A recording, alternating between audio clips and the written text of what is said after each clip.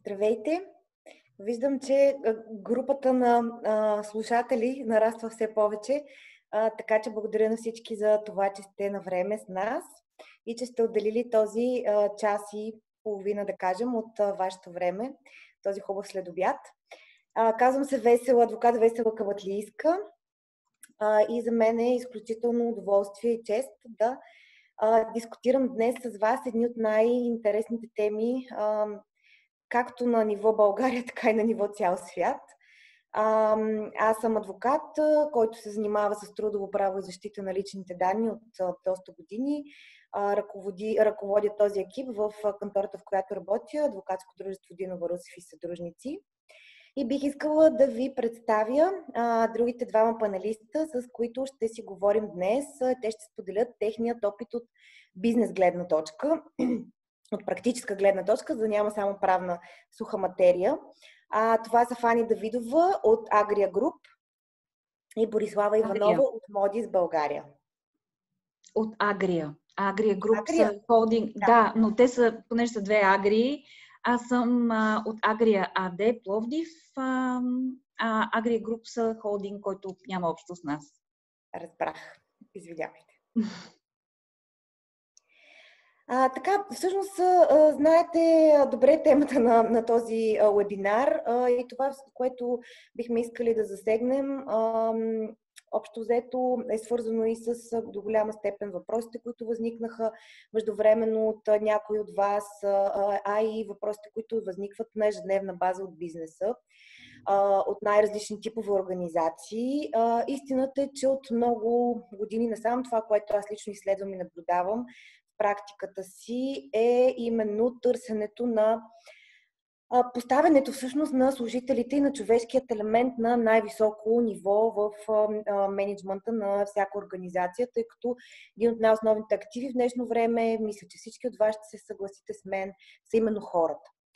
В ситуацията, в която сме в момента, хората, за съжаление, са застрашени всеки един от нас и никой няма никаква застраховка. И основното нещо, което се опитва и държавата, и всеки работодател, и бизнеса като цяло да, да постигне, е от една страна да а, осигури здравето и живота на хората, и от друга страна, естествено, да осигури възможност за продължаване на този живот а, и економическата обстановка а, в както в страната, така и в световен мащаб да бъде максимално стабилна, защото, за съжаление, всички сме зависими от това. И именно намирането на този баланс между бизнес интереса и човешкия елемент, интереса на всеки един от нас като, като хора, е изключително труден. Има различни правни способи, които се дискутират от години, на ниво, както на ниво Европейски съюз, така и в България. Изведнъж се наложи, знаете много добре, за съжаление, преди известно време, това да стане тема номер едно и колкото и работодатели, дори да имаше такива работодатели, които не са пробвали, работата от разстояние и гъвкавите форми на заетост им се наложи до една или друга степен. Така че днес ще говорим именно първата тема, която мисля да подхванем, а, са именно мерките, които бяха предоставени на законодателно ниво на всеки един от работодателите, като някаква альтернатива, за да продължат максимално без сътресение, ако това естествено въобще е възможно, работата си с хората, с своите служители от една страна, от друга страна поддържането на бизнеса до такава степен, до каквато е възможно, естествено, като изключим бизнесите, чиято дейност е изцяло прекратена от държавните органи към момента. Тези извънредни мерки ще ги разгледам много набързо, вече в зависимост от въпросите, които чисто от правна гледна точка, въпросите, които вие имате и които другите панелисти искат да засегнат, ще влезем в повече, в повече в дълбочина. Но първата а, и основна мярка, която беше въведена, която до 9 дискутирахме с колегите в панела, а, е именно въвеждането на работа от разстояние. И а, един от най-основните въпроси за нас е ли задължителна и доколко тя е задължителна, защото в заповедта на министъра на здравеопазването, така както беше представена в, а, на, на средата на март месец, така тя е запазена и от а, тази нощ, сила от днес. а, като текст и като пожелателно задължителен а, на характер. А, въвеждането на работа от разстояние в момента е максимално препоръчително според мен за всеки и оставането съответно в такава до края на новата обявена извънредна епидемична обстановка е за тези работодатели, които имат такава естествено техническа възможност. Например, в Агрия това е възможно естествено само за администрацията, а не и за служителите, които са част от производствения процес. Предполагам, поправете ме, Фани, ако греша. Така. А, така и в доста други организации. Има пък организации като Модис, в което преимуществено служителите работят с технологии и е възможно въвеждането на работа от разстояние. Именно поради тази причина законодателя даде възможност това нещо да се случи максимално гъвкаво и лесно от страна на работодателите, единствено и само с заповед, едностранно въвеждане на а, работа от разстояние. А закона казва, според мен, а, тук има малко пропуск в а, самия текст, а, че по този начин се изменя мястото на работа, единствено мястото на работа. В случая за мен се изменя работното място, не мястото на работа. А, и общо взето се въвеждат определените технологични правила с тази заповед. Има минимално изискване на съдържанието и в закона, а, чрез която да може да, бъ, да бъде осигурена работата от разстояние. А, тоест, в момента се избягва възможността, по-скоро необходимостта от включване на конкретен договор или анекс към трудовия договор, за въвеждане на работата от разстояние и се избягва необходимостта от физическо присъствие на служителя, ако няма въведени технологии за администриране на трудовите правоотношения без физическо присъствие. А, може би бих, бих дала още сега думата на нашите паналисти, за да ни разкажат малко повече за техния опит от въвеждане на работата от разстояние и до каква степен и дали въобще а, ще продължат с това дали са преминали по някакъв начин към, към работа от, или обмислят и съответно какви, какви биха били стъпките към работа в предприятието. Може би да започнем с Борислава. Здравейте на всички! Благодаря адвоката Кабатлийска за дадената дума. Борислава Иванова съм директор човешки ресурси в Модис България. Модис като работодател предоставя аутсорсинг услуги, IT услуги към нашите клиенти, така че при нас основно нашите служители ползват различни видове технологии. В този случай при нас имаше успех изнасянето на служителите и тяхното изпращане да работят от вкъщи. А, здравето и безопасността на, на нашите служители винаги е било на първо място, а, особено в ситуацията с обявяването на извънредното положение а, и това, че а, бива застрашено. Разбира се, следваме всички стимули и придобивки, предлагани от, а, от нас като работодател. А, месеци след появата на, на COVID-19, извънредната обстановка, а, много трудно хората все още отказват така да повярват, че трябва да, да избягват добре познатите си навици, да променят начина си на живота, в това число да променят някои от работните си навици и да се запазят, да продължат да работят от вкъщи. Общо взето всички сме поставени не само работодателите, хората чисто като а, човешки фактор пред предизвикателството а, да променят своите си отношения, навици, да открият нови занимания, да се адаптират, да проявят гъвкавост и да се адаптират към тази а, нова среда и нова обстановка и ситуация. А, тук много ключова роля а, оказва бизнеса а, и работодателя като цяло, който а, следва да осигури безопасност и стабилност а, на, на своите служители, стабилност на, на бизнеса, на предоставените услуги, а, да предотврати разпространение на паника а, сред своите служители и същевременно а, да а, обезпечи нормалният работен процес. А, казвам го от практична гледна точка, имайки предвид, а, че в действителност на а, нашият, а, нашият бизнес а, и услугите, които предоставяме, са свързани и с а, клиенти. А, така че при осигуряване на работата от разстояние а, много добре и много внимателно се обсъдиха абсолютно всички рискове и се взеха под внимание абсолютно всички гледни точки, включително а, синхронизиране с а, нашите клиенти. А, като а, поначало а, от изминалата 2019 година, началото на годината, ние всъщност имахме введена политика за работа от а, вкъщи, но тя не обхваща се абсолютно всички а, служители, именно а, от гледна точка на а, определени технически а, а, трудности, а, security трудности и а, разпоред не точно разпореждане, но изисквания на нашите клиенти, услугите да се предоставят от определени помещения, а, някои от тях да са изолирани с оглед конфиденциалността на информацията, с която нашите служители работят. Но още преди обявяването на извареното положение, наблюдавайки какво се случва в останалите държави, започнахме да правим план и да обсъждаме на всички нива в организацията възможността абсолютно всички служители да бъдат преместени а, като работа от вкъщи и да извършват тази работа, от, а, която извършват от офиса на работа от разстояние. Така че в първата седмица след обявяване на извареното положение всички 1400 служители а, бяха изпратени да работят от вкъщи с цялото техническо оборудване, а, което им беше необходимо, беше а, подсигурено. А, едно от предизвикателствата, с които се, сблъскахме, се сблъскахме тук е как ще а, организираме и администрираме трудоправните а, взаимоотношения с нашите служители, имайки предвид, че а, до този момент а, законодателството а, и по принцип не само към този момент изисква определени документи да съдържат, а, да бъдат на хартия, да съдържат мокър печат, а, подпис а, в оригинал, такива каквито са трудовите договори, всички инструкции, първоначален инструктаж, който се дава в първия работен ден.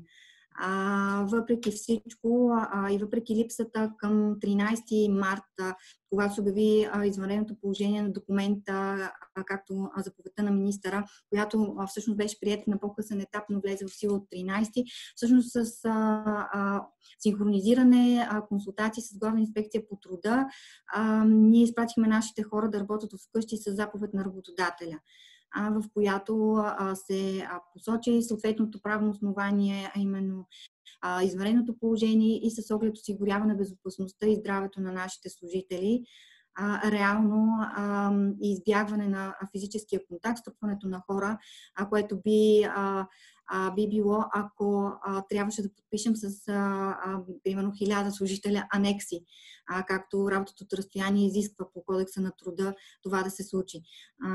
Така че с риск да сме в леко нарушение на закона, разбира се, както казах, с обсъждане и консултация с юриста на главна инспекция по труда, а ни въведохме с заповед изпращането на хората да работят от вкъщи.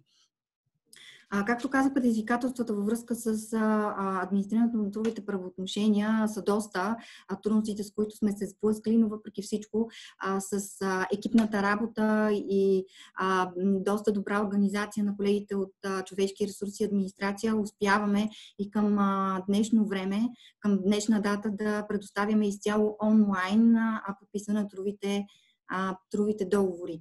За целта осигурихме а по-скоро въведахме една декларация като част от документите, трудов договор с характеристика допълнителни документи като част от комплекта ни с документите, декларация с която приравняваме физическия подпис на служителя към електронния, така да се каже, като попълвайки въпросата декларация, а, с нея служителите приемат и се съгласяват с условията по трудовия договор, декларират, че съзнават всички а, правни последици които проистичат от приемане на офертата, съгласието с да подпишат трудов договор и задълженията, които проистичат от постъпвайки на работа и свързани с длъжността характеристика.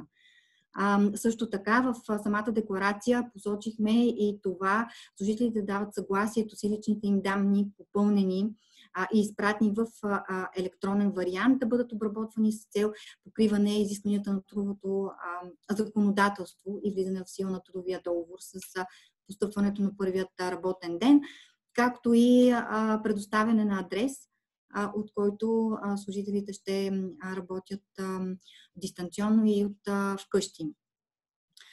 А, така че с тази декларация а, общо взето успяваме да покриваме на този етап изискванията на, на трудовото законодателство.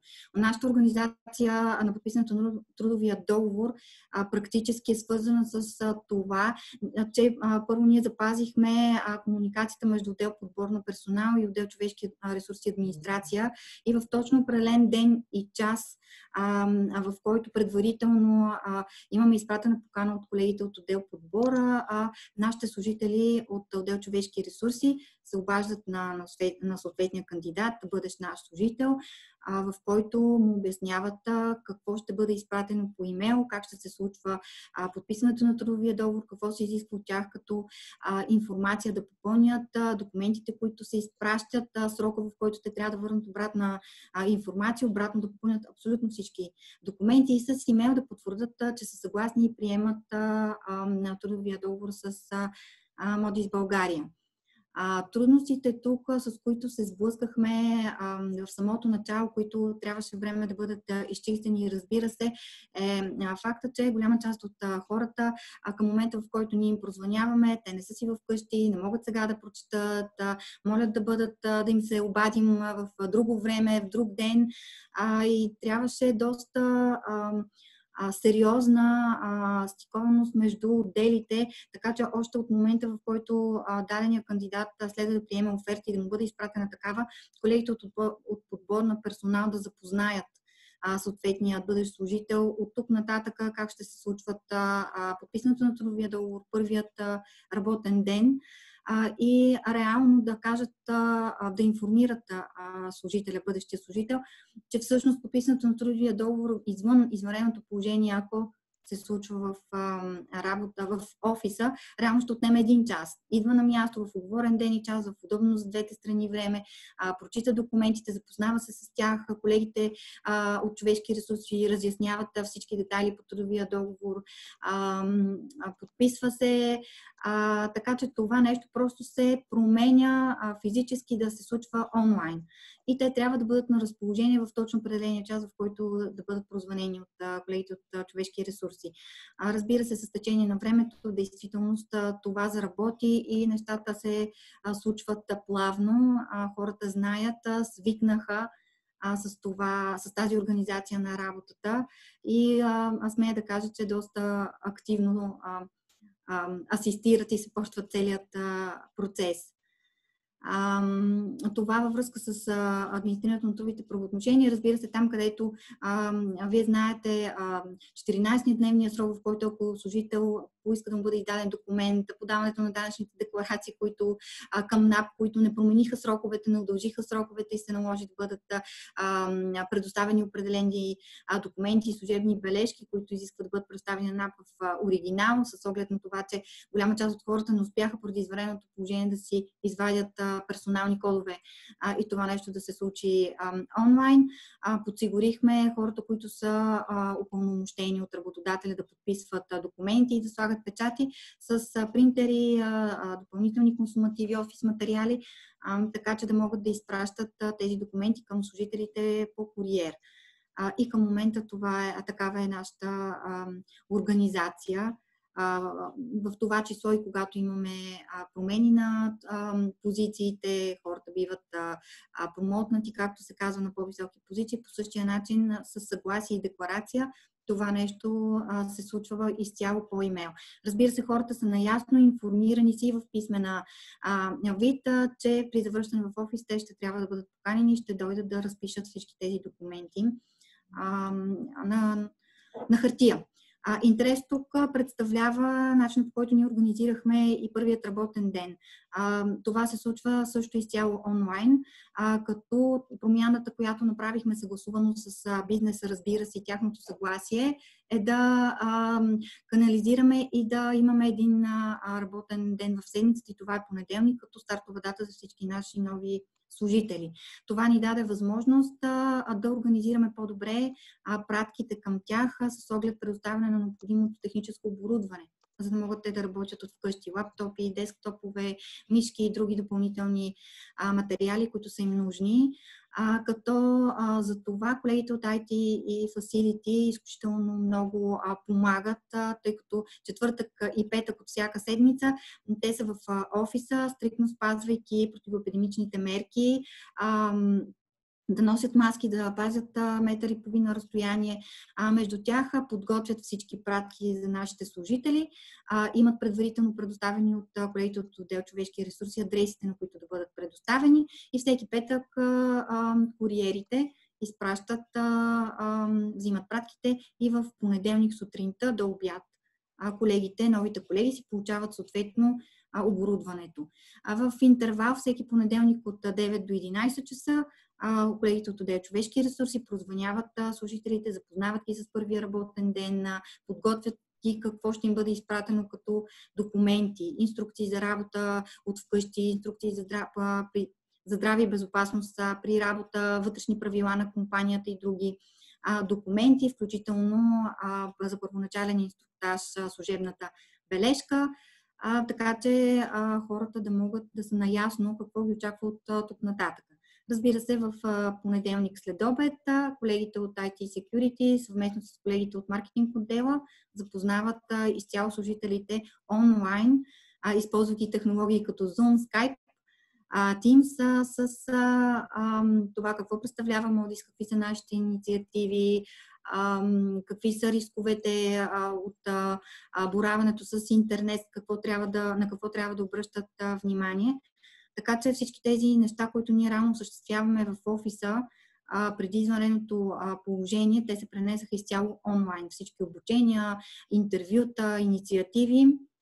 Всичко това нещо беше пренесено онлайн, благодарение на технологиите и благодарение на, на екипната работа, защото тук наистина много стикна организация а, на всички нива и отдели в организацията а, е необходима.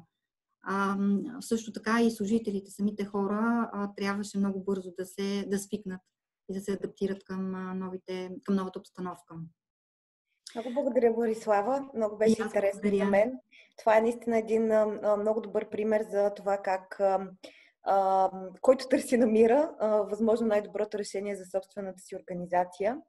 Аз бих искала преди да дам думата на Фани, която има малко по-различна, но отново доста интересна гледна точка за това как са структурирали работата си по време на извънредното положение и сега какво предстои след неговата измяна.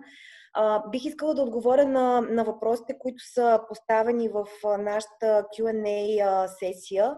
За тези от вас, които не са видяли, има такава опция в долния, долната част на екрана за въпроси и отговори, който иска, може да зададе и сега въпросите си. Предварително също сме получили такива. Така че, когато на по-голяма част от тях ще отговорим по време на самото на самата дискусия, а на тези, на които не успеем, може да след това да се свържете с нас. На първо място аз бих искала да дам един общ коментар, че това, което се случи във връзка с извънредното положение и сега с новата епидемична обстановка, е единствено и промяната в работата от разстояние е единствено начина по който тя се възлага от работодателя. Това, което, както казах от Деве, това, което законодателя направи, да ни даде една опция като работодатели да въведем работа от разстояние едностранно, без да се изисква физическото присъствие на служителя в офиса, да сключва договори, анекси и така натам. А, обаче а, продължават да стоят всички останали въпроси, които стояха и до този момент и заради които много работодатели избягваха да въведат а, работа от разстояние или съответно се колебаеха до каква степен би било а, приложимо за тяхната организация. И поради това е, това е причината, поради която доста работодатели в момента предпочитат да преминат към работа от офисите си или от съответно предприятията. От една страна, да, рискът за възникване на трудова злополука по време на работата от разстояние в работно време стои и той си стои за работодателя. Работодателя носи изцяло имуществена отговорност и той трябва да осигури формално здравословни и безопасни условия на труд на всяко едно ново работно място в дома. А, поради тази причина е изключително важно да се въведат ако не по време на тази обстановка, няма как да се правят според мен измервания или поне се въвежда един друг малко по-голям риск, но поне трябва да се дадат някакви инструкции ясни на служителите, как да работят, как най-добре да работят, какво да правят. От друга страна, правилата ви за а, конфиденциалност, защото представете си, възможно е да имате в едно и също семейство ваш служител и служител на ваш конкурент, които да работят на една и съща маса. То е запазването на конфиденциалността на търговската тайна, запазването на интегри, интегритета на информационните системи, които се използват, всичките тези правила, които вие до сега сте въвеждали с цел сигурност, било то с оглед сигурност на здравето и, и живота на хората или а, на технологиите и а, на лични данни, търговска тайна и така натам, те трябва да останат и трябва да бъдат а, отново комуникирани с хората, които работят от разстояние. От друга страна, както казах, тази нощ се удължи възможността работодателя на това основание, именно на основание новата извънредна епидемична обстановка, която беше обявена, да, да продължи или да въведе, ако не го е направил до този момент, работа от разстояние едностранно по този начин. Тоест до 13 юни тази опция и това основание стои. След това, ако няма допълнително удължаване, се въвеждат работа от разстояние се въвежда с писмен, писмено споразумение между страните, което има минимално необходимо съдържание в трудовия договор. От друга страна, това, което пък госпожа Иванова подчерта и беше изключително интересно, именно администрирането на трудовите правоотношения от разстояние, а, свързано с подписването на, на документи извън а, а, физическото присъствие на лицата. Това е един изключително дискусионен въпрос в практиката. Истината е, че държавните органи все още предпочитат и държат голяма част от тях на хартиените носители, на хартиените копия, подписани с сим подпис от всеки един от, всяка една от страните. А, обаче, още през 2018 година, тъй като има редица нормативни актове в България и на ниво Европейски съюз, които задължават всяка от страните, както по трудовото, така и по други правоотношения, да, да вземат предвид напредъка на технологиите, беше въведена една наредба за вида изискванията за създаването и съхраняването на електронни документи в трудовото досие на работника или служителя. Ако погледнете тази наредба, ще видите конкретните изисквания за създаване на такива документи. Те не са кой знае колко много. Дава се възможност всякакви документи да бъдат създавани по този начин а, като а, един, а, така, основните правила в този случай са именно както са направили в Модис, да има едно, една информираност на служителите за това нещо, да има постигнато съгласие с тях, т.е. да има от, от тяхна страна а, някакъв вид волеизявление, че те са съгласни. По този начин да се а, документи да се, водят, да се води трудовото им досие. По никакъв начин обаче работодателя няма право да отказва да приема на хартиен носител документи от служителя, например, например мобил за отпуск. Ако служителя реши или молба за напускане, ако служителя реши да си я подаде в хартиен вид, това си е негово решение. Разходите, свързани с това подписване, трябва да са от работодателя, да са за сметка на работодателя, т.е. ако се иска квалифициран електронен подпис, той трябва да бъде предоставен, поне да се покрие разхода от работодателя, ако не е директно предоставен от него. Трябва да бъде предвидено в правилника за вътрешния трудов ред, където да се уреди именно как точно ще става подписано, с какви технологии, какъв да бъде подписа, който се изисква от всяка една от страните.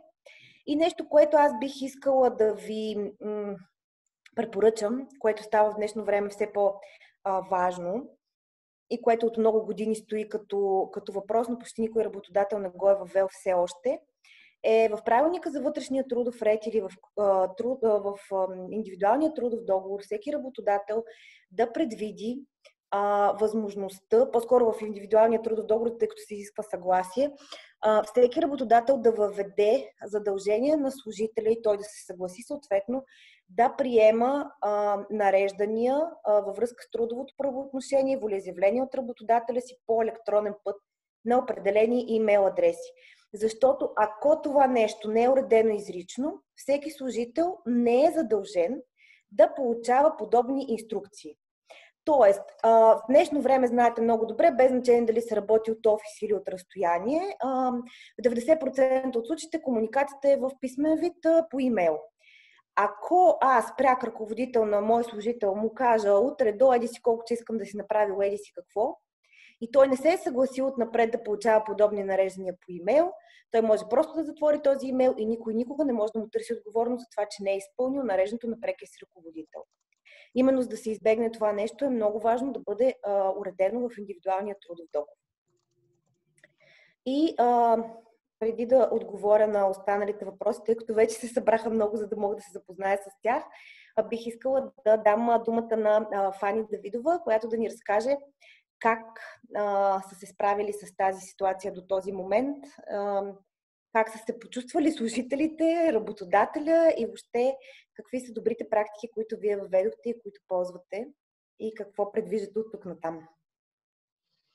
А, здравейте на всички, благодаря ви. Аз, а, а, тъй като виждам, че има много въпроси, ще се постарая да бъда максимално кратка, защото ми се струва по-малко интересно да разкажа това какво сме правили, как сме се справили в миналото, защото в момента сме в ситуация, в която хората трябва да решават практически проблеми и тук, сега и веднага. Така че не ми се струва много интересно какво сме направили, а по-скоро какво ще правим, тъй като а, от една страна а, заповедта на министра на здравеопазването, която влезе в сила от вчера, на практика не променя кой знае какво за работодателите.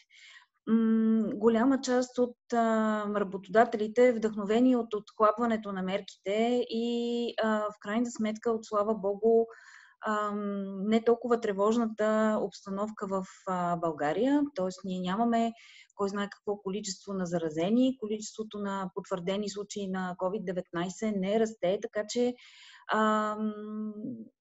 голяма част от работодателите, тези, които работят в а, някакъв тип административни структури, мисля, че съвсем основателно, както и техните служители, са изкушени да се върнат на работа, защото а, работата от разстояние а, не е кой знае колко подходяща за всички видове работодатели, професии. Тук не говоря за търговските обекти и магазините, говоря за предприемачи, които имат голяма част от перс... които голяма част от персонала им работят в а, административни сгради, в офиси и така нататък.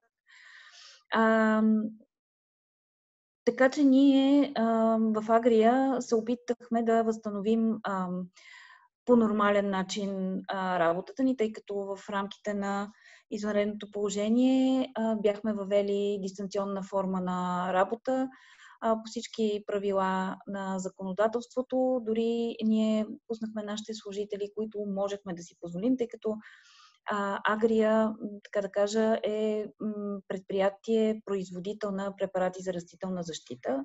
И една голяма част от нашите служители работят в производството в Пловдив. Ние, слава Богу, не сме спирали производство, така че хората, ангажирани с производствения процес, нямаше как да бъдат пуснати а, да работят от вкъщи. А, завода ни не е спирал, слава Богу, да работи. Работеше си на пълна мощност, но а, тъй като все пак здравето и живота на нашите служители наистина са на първо място, ние въведохме а, всички изисквани от, и от Световната здравна организация стандарти на пълна дезинфекция, на дезинфекциране на всички влизащи в, на територията на завода, мерене на температурата, на всички, които влизат на територията на завода, раздаване на лични предпазни средства, дезинфектанти. Няма нужда да а, изброявам всичко, което а, имаме налично. Не мисля, че е особено интересно, тъй като общо взето всички, а, които не са прекъсвали а, работата си от а, предприятията, са го направили. М- така че не виждам някаква причина да изброявам всичко и да ам, доказвам какви сме отличници. А, по-скоро да бъда по-практична ми се иска. От гледна точка на възстановяване на а, работата в офисите. А, заповедта на министъра, за съжаление, може да бъде прочетена по два начина. Единият е по преценка на работодателя. А, другия начин на прочитане е така, да възприемем, че заповедта има и приема един по-императивен подход. А именно, че а, работодателите а, при наличие на възможност изобщо някой да работи от разстояние, той трябва да го отграничи. Аз мятам, че по-здравословно и по-практично е службите по трудова медицина, които работят към съответния работодател, да извършат оценка на риска и а, при възможност работодателите да организират така работния процес, че да осигурят разстояние между служителите 2 метра, да осигурят всички средства за, за дезинфекция. А, и всичко, което се изисква, за да се ограничи разпространяването на евентуално на заразата, е добре да го направят. И аз мятам, че а, при една налична оценка на риска, при едно уведомяване на всички служители, инструктиране на всички служители за правилата за безопасност, работата може да бъде възстановена. Разбира се, това трябва да стане с а, заповед на управомощеното лице. А, и това е. Да, аз съм напълно съгласна. Много благодаря, Фани. А, а, напълно съм съгласна с а, а, твоето мнение, че а, е много неясна заповедта и до каква степен наистина тя е задължителна. Тоест, говорим вече от днес до един месец напред най-малко. Тя заповедта е задължителна без всяко съмнение. Да, тя е задължителна. Да говорим работата, работата от разстояние да. степен е задължителна. А, за мен а, тя е задължителна до толкова, доколкото а, няма друга, друг вариант, в който работодателя да осигури достатъчно много и адекватни мерки за защита а, в случая а, а, в различните аспекти на неговото предприятие. Имайте предвид, че има много държави, в които са въведени много конкретни а, изисквания а, за това какво точно може да се случва в а, едно предприятие, какво трябва да бъде осигурено, за да може да се премине към работа в предприятие. В България това не се, не се направи и аз съм ам, много съгласна с това, тъй като трябва да се даде а, превес наистина на една адекватна оценка на риска за, за нуждите на всеки. Защото всяко предприятие е абсолютно различно, има съвсем различни ако щете дори квадратура на работни помещения, да какво става за процес на работа и за начин на общуване и, и така натам. Всъщност в България единственото нещо, което остана като абсолютно задължителни мерки за противоепидемични мерки, които трябва да се вземат предвид, са отново в тези заповеди на министъра и те са свързани само за предприятията, които предоставят обществени услуги. Тоест тогава, когато в едно помещение влизат и а, трети лица, граждани. А, тогава, когато обаче ам, ние сами решаваме и организираме процеси за работа, винаги правилото е било Работодателя заедно с службата по трудова медицина осигурява най-адекватните спрямо нуждите на предприятието мерки. И ако службата по трудова медицина естествено каже няма как, трябва да бъдат всички от разстояние, тъй като не може да се осигури социална дистанцираност или трябва минимум 20% да работят от вкъщи, за да може да се осигури социална дистанцираност, то тогава работодателя би следвало да вече да вземе задължително тези мерки. Ако обаче се окаже, че е възможно, да се осигури достатъчно много противоепидемични, да се осигурят всички необходими противоепидемични мерки, то тогава плавно би могъл да се премине през този процес към връщане на работа. И за мен един, едни от основните въпроси във връщането на работа, явно това е една от най-дискусионните теми в момента, към работното място, стоят отново хората.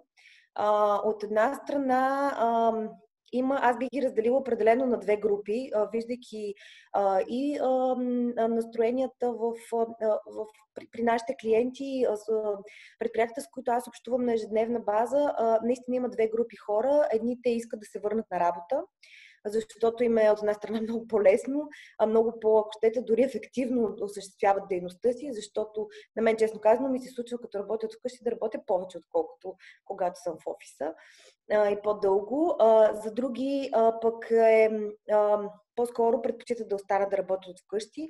Било то, защото децата им все още няма как да преминат а, към някакъв вид а, форма на обучение недистанционна, т.е. те трябва да се грижат за тях на ежедневна база от една страна, а от друга страна има хора, които просто се страхуват за живота и здравето си, хора, които нямат собствен транспорт, трябва да ползват градски такъв, хора, които наистина предпочитат за известен период от време и след като да кажем, сме достигнали въпросното плато или а, звучат добре а, цифрите за България, а, а, да имат едно поне едно, две, три седмици а, преходен период, в който да се почувстват спокойни и сигурни да се върнат на работа. И затова аз ви предлагам да преминем към, към този въпрос именно за прехода и какви са настроенията от чисто човешка и HR и бизнес гледна точка. Фани, ако искате, може да ни разкажете малко за вашия опит, тъй като вече имате такъв, доколкото разбрах. Да. Ами, вижте, при нас специално това не сме правили някакво изследване или проучване, в което се иска мнението писменно на всеки служител. Сега, откровенно казано, в разговорите с колегите е съвсем, за нас специално е съвсем очевидно, че ние в большинството си не се чувствахме добре от а, това, че трябва да работим дистанционно. А, в а, нашата компания а, дистанционната форма на работа е в никакъв случай не е невъзможна, но а, Агрия, а, както казах, има една голяма производствена част и една част, една, така да кажа, търговска част. А, хората, а, ангажирани с а, продажбата на нашите продукти, а, са хора комуникативни, м- хора, които обичат комуникацията, а, обмяната на идеи и а, опит между самите търговци е част от а, тяхната работа. Така че а, социалната а, дистанция при нас не беше особено окей. Okay. А, това, което разказа колегата от Модис по отношение на процеса за рекрутмент и наемане на работа, а, разбира се, ние го правехме по много сходен начин, да не го повтарям, но ам, аз, например, ам, като човек, който отговаря и за рекрутмента, не смятам, че изцяло онлайн а, интервютата заместваха и а, живите интервюта, които можем да правим в а, нормална обстановка. При нас а, а, процеса на рекрутмент е двустепенен, има две интервюта, а, едното задължително минава през мен, аз а, предпочитам да видя човека и лично, а, отколкото да, да, да се виждаме и да говорим за това какви са изискванията към позицията и какво човека може да предложи на компанията само онлайн. А, така че м- като настроения а, и искания на нашите служители, определено мога да кажа, че а, работата от вкъщи не е добрата опция за нас. А, отделно от това, а, аз а, в чисто човешки план и така по-глобално и с а, колеги, които съм а, говорила, които се занимават с човешки ресурси, а, Разбира се, въвеждането на гъвкаво работно време е добре и е възможно в компании, чиято специфика на работа е ориентирана към резултат.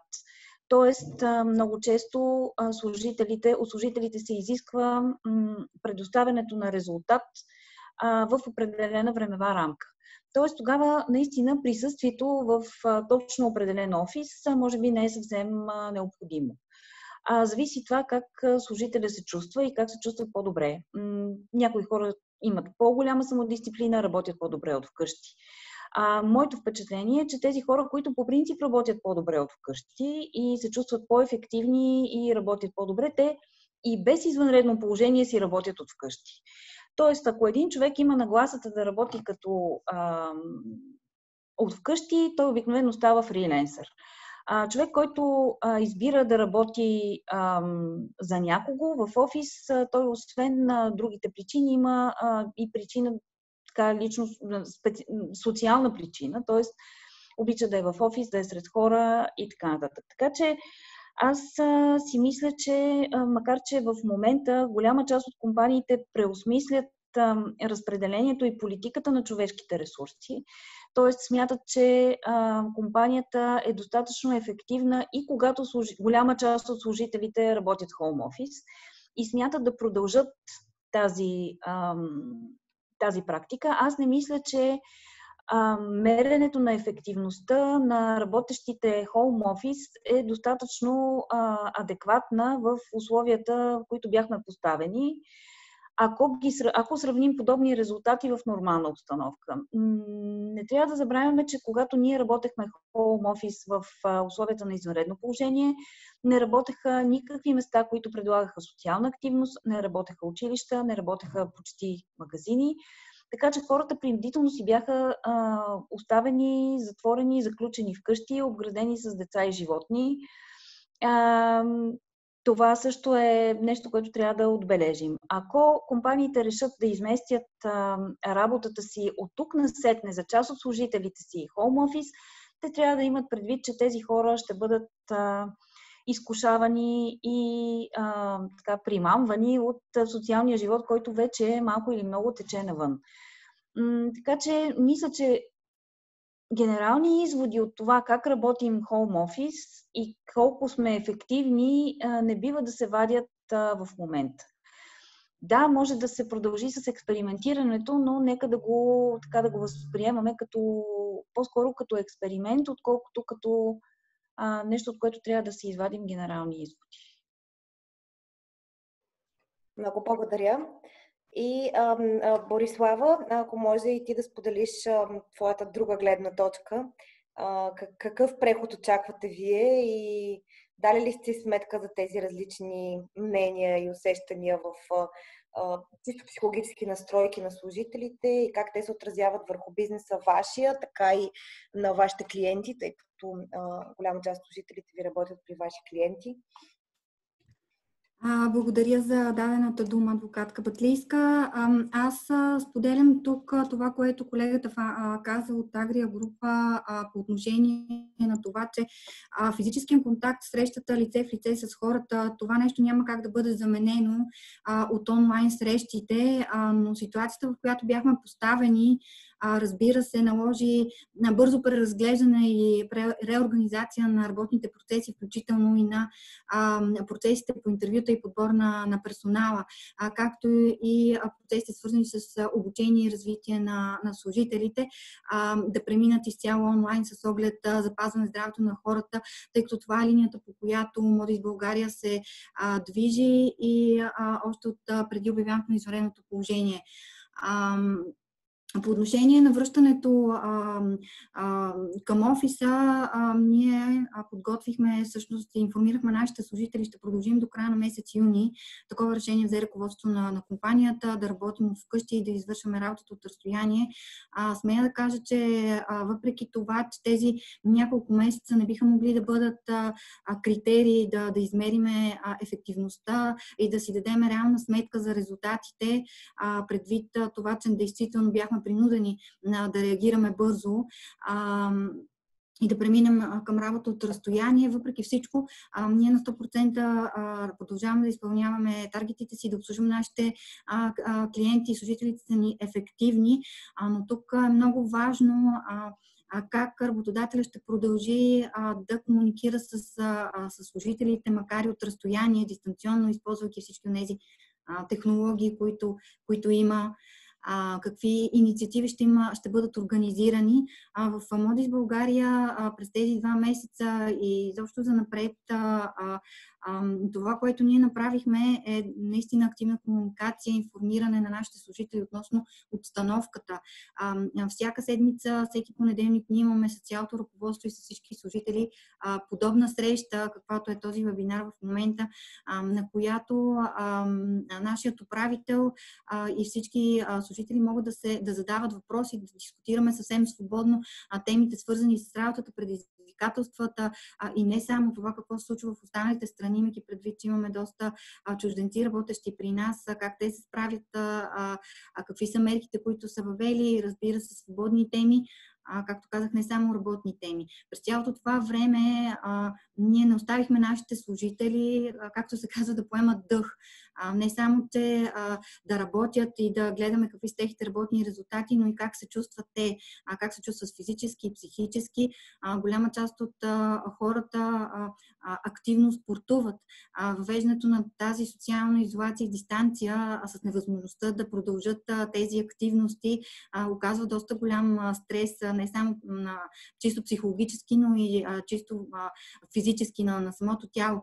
А, така че ние в Модис България а, и преди а, извънредното положение въведахме, а, осигурихме програма за психологическо консултиране с наш партньор, а, а, давайки, фокусирайки се информация по отношение на такъв тип а, срещи с, а, на малки групи, индивидуални, в зависимост от хората, в зависимост от а, темите, проблемите, състоянието, които биха искали те да дискутират.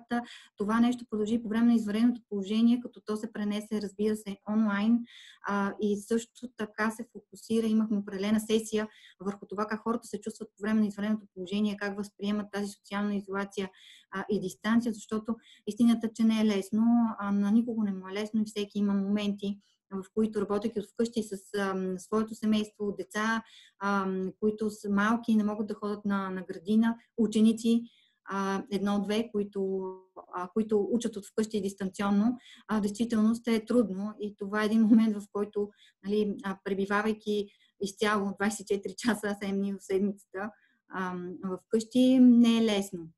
Не е леко. Да, разбира се, погледнато от а, позитивната страна, повече време вкъщи и повече внимание към децата, с оглед динамиката на живота и работата, а, но, както казах, да, ние се фокусирахме върху психологическото консултиране на нашите служители, нещо, което ще продължи и за напред.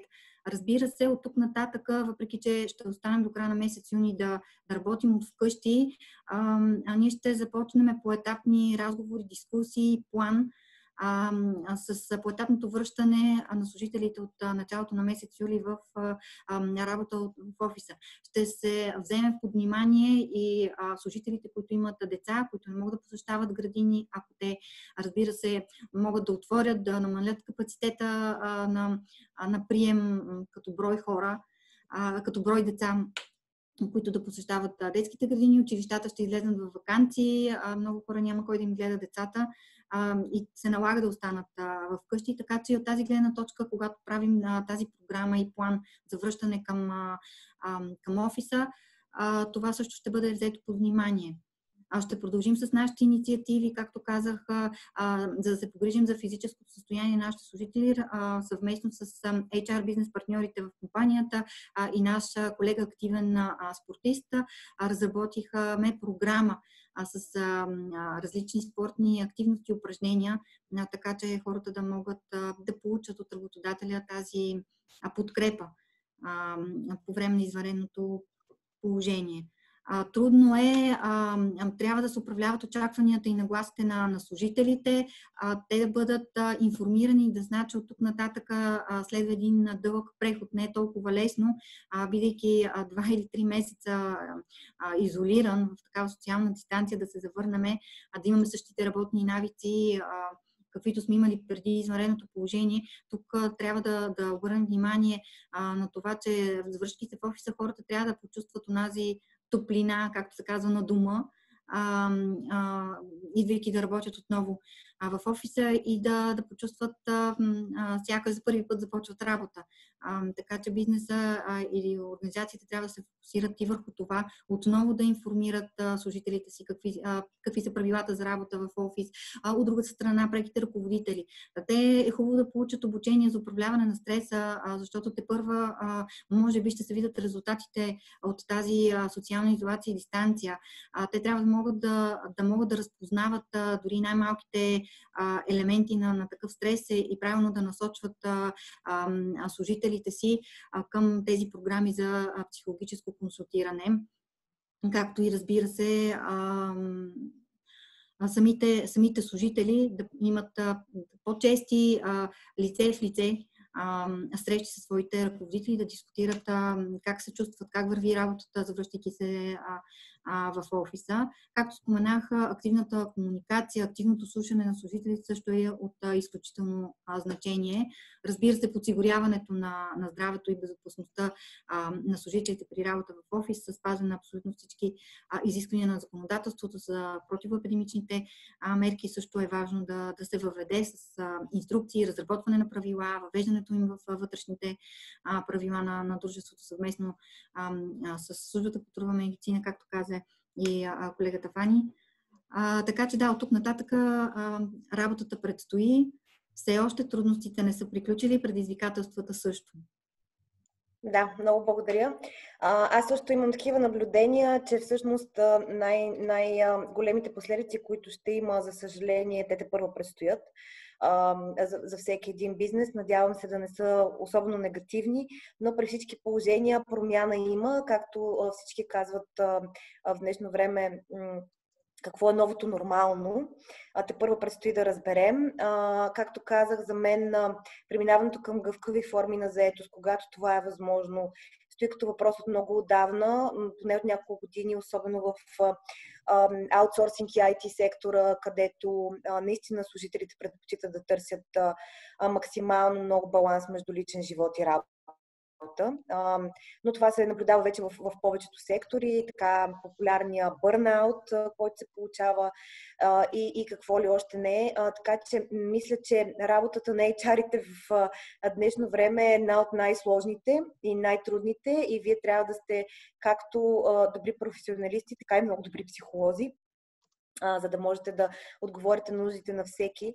Един от основните въпроси, които стои а, от нашата аудитория е именно а, до каква степен работодателя би могъл да накара служителите да се върнат на работа. А, от чисто правна гледна точка аз бих могла да кажа едно основно правило в трудовото право е, че работодателят е този, който организира процеса на работа. Той е този, който взима решения как точно да се случват нещата и ам, какво да е място на работа, какво да е работното място на служителите. Знаете, че дори по принцип работното място би могло да бъде изменено едностранно от работодателя а, при определени условия. А, отново казвам, ако работодателя е осигурил достатъчно противоепидемични мерки и няма опасност за живота и здравето на хората, той би могъл да изиска служителите да се върнат на работа и ако нямат достатъчно основания служителите да считат, че е застрашен живота и здравето им, то тогава те подлежат на дисциплинарна отговорност, ако не се яват на работа. А, така често употребявания термин в а, а, живота самоотлъчка, така наречена.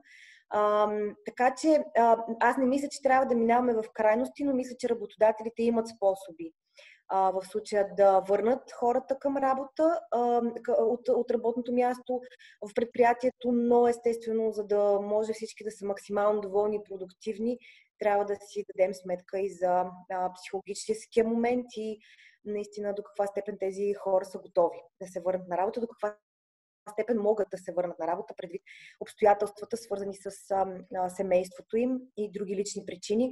Така че всичко е въпрос наистина на комуникация. Затова искам да ви дам и следващите няколко много набързо ам, мерки или по-скоро альтернативи, които бяха дадени на работодателите и които се запазват а, за до 13 юни най-рано. А, пак казвам, а, промените, които бяха въведени в а, закона за извънредното положение, както аз го наричам кратко. А, а, тези промени по отношение в кодекса на труда а, останаха и единственото нещо, което се промени от вчера е, по-скоро в сила от днес, е именно това, че те остават и за времето в, за обявена извънредна епидемична обстановка, каквато ще бъде най-рано до, до 13 юни. Това съответно означава, че освен, че имате право едностранно да въведете работа от разстояние, право или до известна степен задължение за тези, които не биха могли да осигурят достатъчна социална дистанцираност и, и максимално. Естествено, най- истината е, че най-консервативният подход на работодателя е да остави служителите на работа от разстояние. Тогава рисковете за него, чисто имуществени, са най-малки. Естествено обаче, отново стои риска за трудова злополука в а, къщи, по време на работа от разстояние, което също трябва да бъде взето предвид. Така че винаги всеки един от вашите въпроси е въпрос на преценка конкретна, на конкретна ситуация, на конкретен казус и на премерване на риска. Т.е. какъв риск би предпочел да, да, да получи работодателя. Но ако един работодател има достатъчно много аргументи за това, че не е ефективно вече работата от разстояние, че страда бизнеса от това, че страда, че има социална дистанцираност между служителите в негативния аспект, а не в позитивния спрямо вируса, то тогава би могъл да въведе най-малкото по етапно връщане. Альтернативите, съответно, са, даже някои от тях биха могли да се комбинират. От една страна е въвеждането на непълно работно време. Това е нещо, което доста предприятия, които наистина страдат от директно са афектирани, директно има ефект към тях заповедите на министъра за ограничаване на определени обекти и дейностите на определени обекти. Много от тях предпочетоха да въведат, да запазят персонала си, да въведат непълно работно време. Непълното работно време се въвежда в случая по време на изваредното положение, по време на тази извънредна обстановка, отново само с едностранен акт на работодателя, заповед, който обаче не е необходимо да бъде съгласуван с представителите на работниците и служителите и на синдикатите, а, а като съгласуване имайте предвид, че при нормалното въвеждане на едностранно въвеждане на непълно работно време, съгласуване означава съгласие.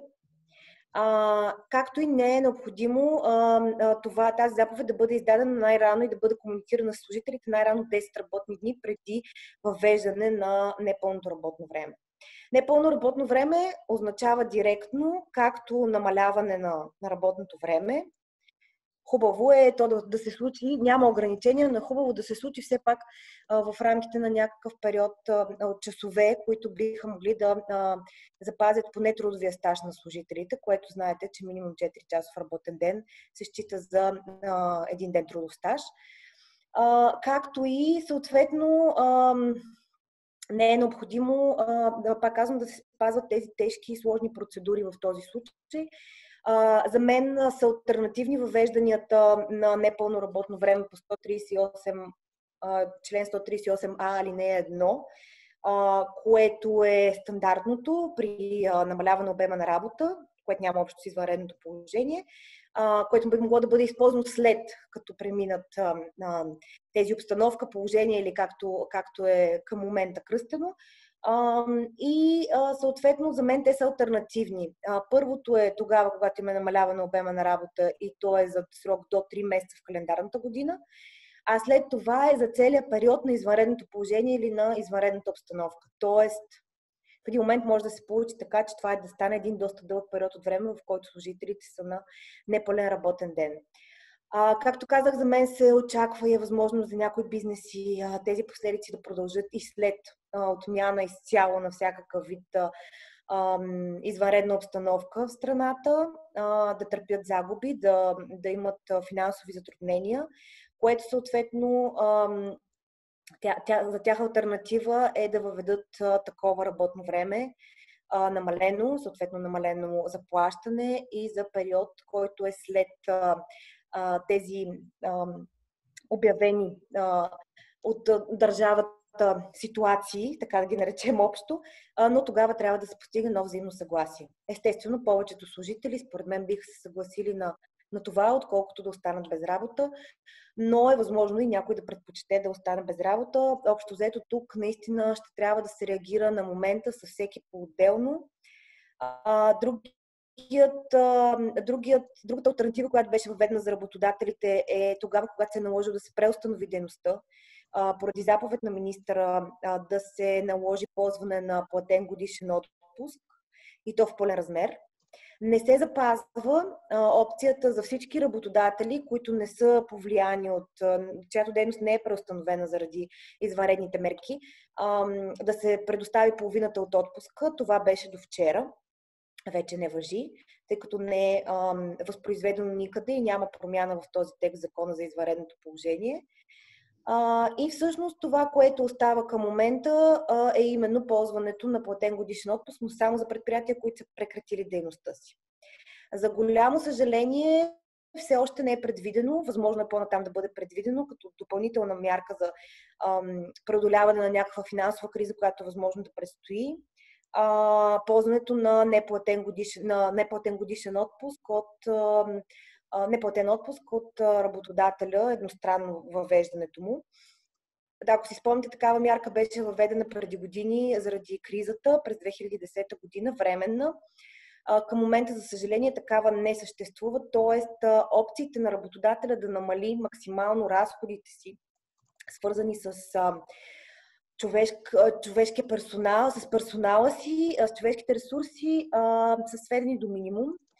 И а, една от опциите е естествено използването на, на въпросната мярка 60 на 40, а, като за нея няма да влизам в, в големи подробности, тъй като тя е много-много дискутирана. А, тя също е удължена с още два месеца а, с вчерашния закон, а, но това, което а, е важно да се отбележи, а, е последната альтернатива на работодателите. За съжаление, аз не случайно оставам като последна. За мен тя е най-крайна и никой не я цели, сигурна съм, а именно прекратяване на трудовите правоотношения.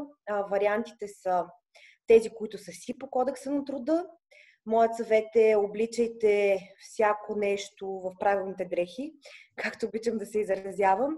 Тоест, оценявайте дадената ситуация, която имате с конкретен служител максимално адекватно, за да може да измислите и да приложите най-правилното основание за уволнение. Например, ако вече нямате необходимостта от трима сервитьори, а само двама, защото очевидно следващите няколко месеца ви няма да имате работа в затворената част на ресторанта си, то тогава направете съкръщаване в щата. Ако имате наистина намаляване обема на работа, използвайте това основание това, което бих искала, общо всички опции на кодекса на труда, които вие познавате, си стоят. Най-безрисковите, естествено, са тези по взаимно съгласие. Това, което искам да отбележа за тях е, че, за съжаление, от преди една година вече работниците и служителите не получават в пълен размер, максимален размер обещетения за безработица, ако са уволнени, ако договор има прекратено основание 331, а, което съответно дава води до голям риск повечето служители да не са съгласни на, на такова взаимно съгласие, за съжаление. А, имайте предвид, че голяма част от другите обективни основания, като съкръщаване на щата, закриване на част от предприятието, а, намаляване обема на работа, изискват подбор, ако има повече от един служител на една и съща длъжност и необходимост от осигуряване на закрила за уволнение което осложнява малко процесите и може да доведе до повече рискове за обявяване на уволнението за незаконно и всъщност това, което естествено винаги трябва да имате предвид да не се стигне до масови уволнения, ако се стигне до такива да се мине през процедурата, там има прагове, в зависимост от броя на персонал, който имате към момента и времето, в което сте уволнили съответен брой служители, трябва да се спазват определени процедури. Консултации с синдикати понякога са необходими. Според инспекция по труда към момента е окей okay, такива да се случват по скайп а, дистанционно по някакъв начин, но винаги трябва да има протокол. И това, което искам да отбележа е, че ако сте решили да се възползвате от, или вече се възползвате от компенсацията 60 на 40, имайте предвид, че в постановлението на Министерски съвет има две изисквания. Едното е да не уволнявате за период, за същия период от време, за който сте получавали компенсацията по две, да не уволнявате този служител или дори включително той да не си тръгва. Т.е. вие трябва да го запазите максимално, иначе компенсацията, която сте получили за него, подлежи на връщане. А за всички останали служители, без значение дали получавате компенсация или не, трябва да не използвате основанията, съкръщаване на щата, намаляване обема на работа, спиране на работата за повече от 15 работни дни, които са изброени в постановлението и ако уволните който и да е друг на това основание, вие подлежи на връщане цялата компенсация, която сте получили, дори за друг служител да се отнася тя. Това е нещо, което просто трябва да имате предвид като риск в този случай. И аз предлагам да дам думата на панелистите ни да, да си кажат, ако имат някакви финални думи, въпроси, те самите, ако искат да провокираме някакъв разговор друг ако не да преминаваме към заключителната част на нашия семинар. Фани?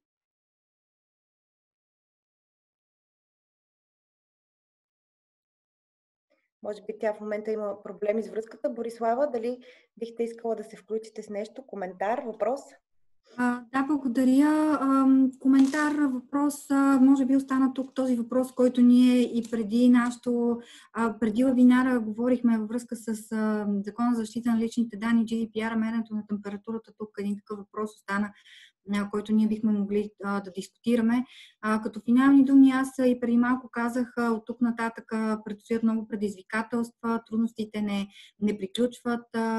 А, работодателите трябва да се грижат за, за служителите си и да не ги оставят неинформирани и да, действително физическото и психическо здраве на, на хората е от изключително а, значение за тяхната продуктивност, не само в а, извънредно положение, но и извън извънредно положение. А, така че, да, моят апел е грижете се за хората си и, и служителите си всички, по всички възможни начини. Разбира се, тук баланс трябва да има и с изискванията на законодателството, където и както е възможно. Да, да. Много благодаря. Ами да, за съжаление, връзката беше малко нарушена, така че за сега сме само ние двете. Аз това, което бих дала като коментар относно да, въпросите, свързани с защитата на личните данни, това е една друга много дълга тема, много необятна материя и тя, е, тя датира много преди GDPR. Естествено, в момента, поради големите санкции, предвидени там е от първостепенно значение.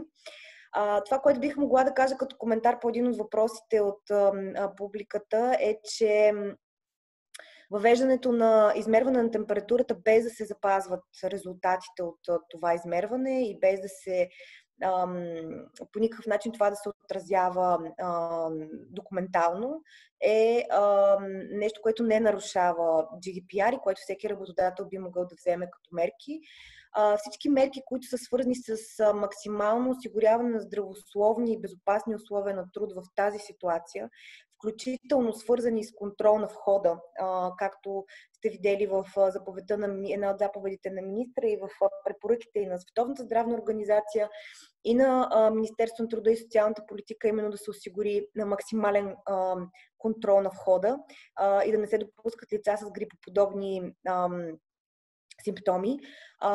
да, това до някаква степен навлиза в техните лични данни и в техния личен живот, но а, а, тук е поставен на обществени интереси, интереса на всички останали, здравето на всички останали, живота на едно малко по-високо стъпало. И оттам съответно преценката винаги трябва да бъде използвайте технологии, използвайте средства, за да го осигурите това, които минимално съхраняват данни, които минимално обработват данни, минимално ги трансмитират, но в същото време постигате същия ефект с тях. Тоест, ако е напълно достатъчно вие просто да измерите температурата без да го записвате на входа, без да го записвате никъде и без след това да предоставяте статистическа информация на майката в Германия, какви точно са били резултатите от въпросното измерване, то тогава вие сте максимално защитени и на всичкото отгоре и предоставяте една добра защита за служителите си.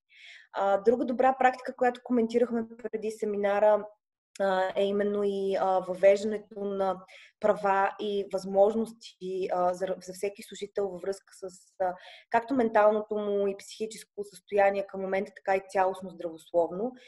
Много наши клиенти въведоха добри практики с предоставянето на допълнителни пакети към здравното им осигуряване и към дори ако щете, осигуриха лекари, на които те плащат директно, но лекарите осъществяват и предоставят възможност да се консултират служителите, било то онлайн или на място с тях, абсолютно безплатно.